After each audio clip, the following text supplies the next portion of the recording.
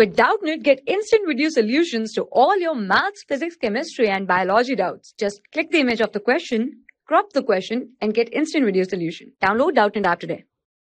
Well, hello students. Now we're going to see this question. The question says the temperature of 5 moles of gas at constant volume changes from 100 degrees Celsius to 120 degrees Celsius. The change in internal energy is 80 joules the total heat capacity of the gas at constant volume will be okay in joule per kelvin.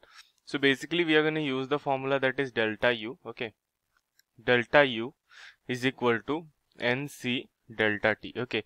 And since it is given at constant volume so over here we will put ncv delta t. Got it? So over here what we'll get? Delta u is absolutely given to us. Del delta u is given 80 joules so we'll put the value of 80 so u is internal energy n is the number of moles. C is the specific required specific heat and delta t is the change in uh, temperature okay. This is in the chapter of thermodynamics. You can check it out so now uh, internal energy change is given 80 joule uh, 80 joules and basically change. We don't need to convert it in kelvin just to find out change okay? Because change in kelvin is equal to change in celsius okay? So change will be what? 120 minus 100 which will become 20 okay?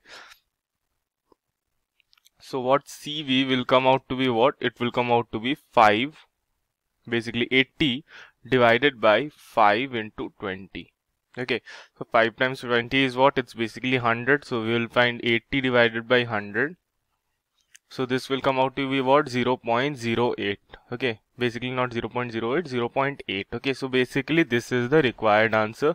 This is the specific heat. Got it?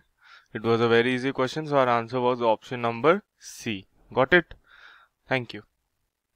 For class 6 to 12, IIT JEE and NEET level.